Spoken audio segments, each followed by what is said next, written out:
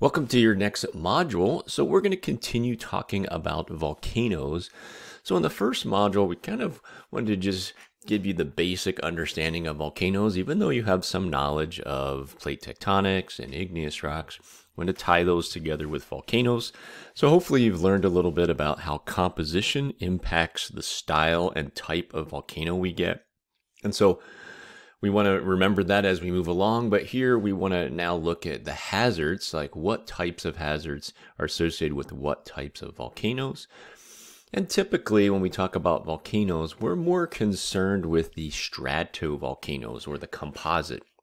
That's that middle of the road intermediate composition one because they are super common.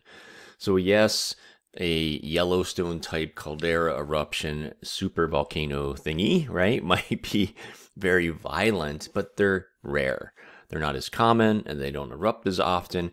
But these stratovolcanoes, because they're caused by subduction, remember, they happen everywhere because there's a lot of subduction zones, there's a lot of plate boundaries where that's occurring. So there's a ton of stuff happening, and they can range from pretty mild to pretty violent. And so we want to look at all the hazards, of course, but what you'll see is those intermediate types kind of cover almost all the hazards we're going to talk about. So what I want you to do is hear the PowerPoint and the video kind of like an overview of an introduction to all the different types of hazards and how we might monitor some of the things going on in a volcano to try to predict when it might erupt.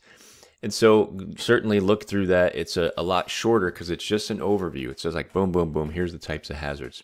I do want you to go to this USGS page here that goes a little more in depth. And so when you click that link, it's going to look something like this, maybe. And here you go. And so I want you to go through these pages here, right? These are the different hazards that we're going to talk about for this module. And so make sure you take a moment and click each of these and read the information here. They're just, you know, they're not super in depth and super long, but, you know, we want to cover all of those hazards. So that's what I want you to do for that. And then, of course, even the textbook has some additional information about hazards and even monitoring. How do we monitor, right? So you're going to use all three of those to kind of gain all this knowledge about different hazards. And then you'll be a pro and you can go ahead and take the lecture quiz. I even threw in a few additional YouTube videos that illustrate some of these hazards that you're being you know introduced to in this module. So you can watch those. You can hear you know see the terms lahars and pyroclastic flows even ash falls. These are things that will be produced when we have some type of eruption. So that's the main lecture content there for that of course and then for the article i am going to have you read a little bit about yellowstone we did mention that it is a volcano potentially has you know, the power to do some pretty good damage if it erupts, but it is not super common that it erupts often, things like that.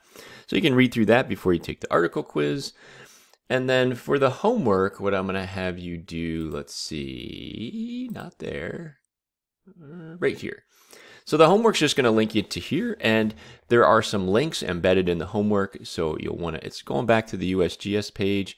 The first link is going to take you to uh, Mount Rainier and give you some information about that. And then you'd answer these questions based on the information you're getting from that USGS page. And then there's several other links as you go through the homework, and I want you to go and kind of read about and learn about and then answer some questions. So that's what the homework is going to be about.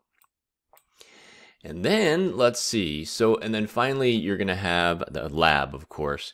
And so the homework will take you a little bit of time potentially to go through. So maybe to offset that, we're going to be gentle with you on the lab. So for the lab, I'm just going to have you watch a video on Krakatoa.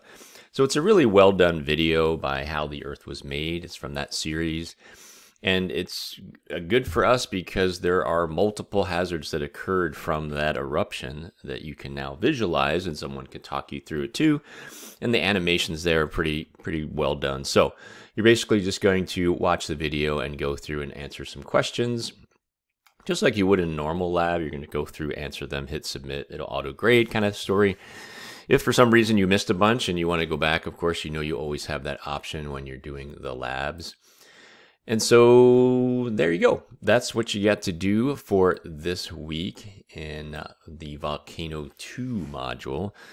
So if you have any questions about what you're supposed to do this week, or if you're struggling with some of the content and need some help, please don't hesitate to contact me so I can uh, assist you with that. All right. Good luck.